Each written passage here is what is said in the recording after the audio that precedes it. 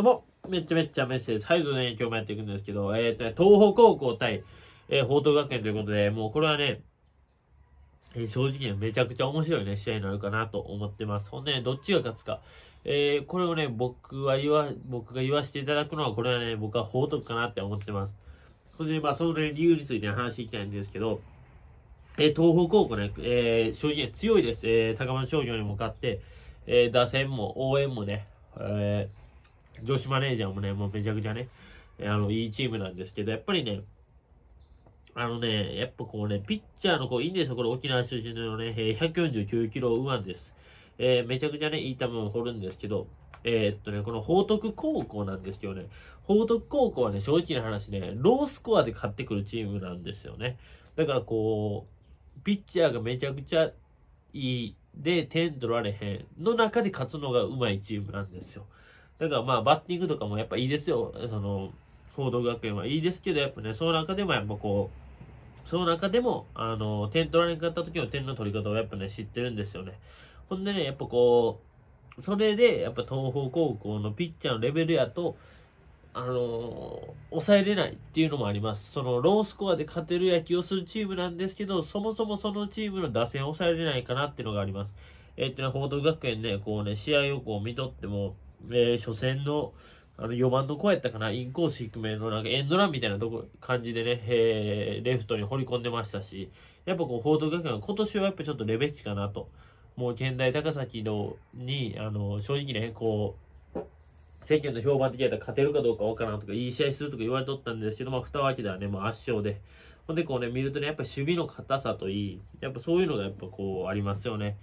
えー、だからね、報徳はやっぱこう、足を絡める野球とか、バントとか、えー、そういうのがやっぱ得意。だからね、こう、試合を見ても、こう点差はね、結構相手、まあ、神戸国際とか4対2とか、えー、まあ、一山にも4対2。ほんで、まあ、大阪桐蔭は0対1とか。ほんで、履正社が9対6とか。まあ、点数はね、入ってるんですけど、あの、そんな長打長打っていうよりかは、えー、まあ、確実にランナーを進めてきて、ほんで、ワンアウトランナー二塁とかの走塁のうまさ、えー、で、ヒット一本で帰ってくるみたいなね。だからほんま、めちゃくちゃね、細かい野球をするのがね、報徳なんですよね。に比べて、この東邦高校なんですけど、えー、強いですし、正直めちゃくちゃ強いですし、あのなんすかね、こう、名電とか、廃校大名電とかね、大垣日大、えー、長崎海星にもね、えー、じゃあ長崎海星じゃない方か。じゃない方ですね。ごめんなさい。それは道でました。ほんで、琴脇川とかにもね、やっぱ買ってきて、やっぱね、強いんです、東方も。ほんで、ピッチャーめちゃくちゃいいんですけど、やっぱね、ここ一番の、なんかこの、ぬるさっていうか、あの、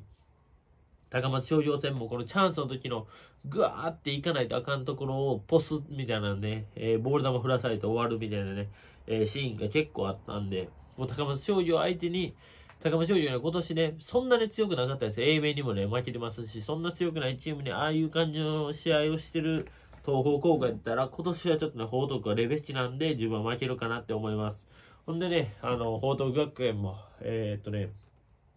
男子校なんですよね、報道学園って。ほんでもういわば泥臭い。もうね、女の子にも、まあモテるかどうかわかんないです。まあね、その報道学園のやつに聞いたら、えー、隣にね、女子校が2校挟まってるから報道学園モテんねやってね、よくね、その負け惜しみみたいな感じで言われるんですけど、え、ほんまね、男子校でほんまね、泥臭いチームなんですよ。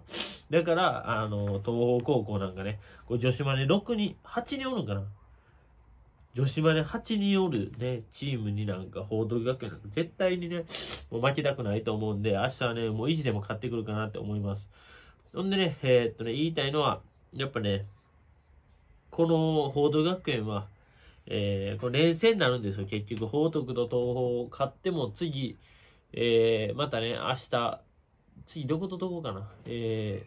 ー、多分こういう、え？ちゃうかな。まあ、とりあえずね、えー、連戦になるんですよ。だからね、こうお互い、このエースをどっちで使うかみたいなところなんですよ。だからね、僕が思うには、報徳の方がこの投手層っていうのもちょっと熱いんですよね。他にもこの、えー、党員戦掘ってるピッチャーとかね、いろんなね、党員戦を抑えたピッチャーとか、いろんなね、ピッチャーが報徳がおるに比べて、えー、東北高校ね、いるんですけど、そんなね、えー、信頼のあるピッチャーがね、まあ、この山北君が掘ってたか、まあ、あの、そんなめちゃくちゃいいピッチャー、もうこれは信頼できるっていうピッチャーがね、備えいないんで、自分はね、えー、報道学園勝つかなって思いました。はい、皆さんが思う意見はぜひコメント欄に。それじゃあ、次の動画で会いましょう。お疲れ。